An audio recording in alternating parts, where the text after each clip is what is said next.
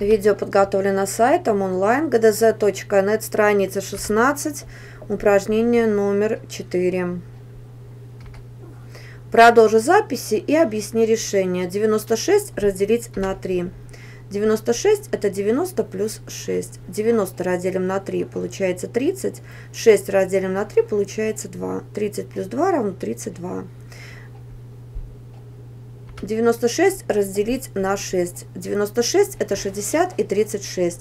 60 разделить на 6 равно 10. 36 разделить на 6 равно 6. 10 плюс 6 равно 16. 96 разделить на 2. 96 это 80 и 16. 80 разделить на 2 равно 40. 16 разделить на 2 равно 8. 40 плюс 8 равно 48. 96 разделить на 4. 96 это 80 и 16.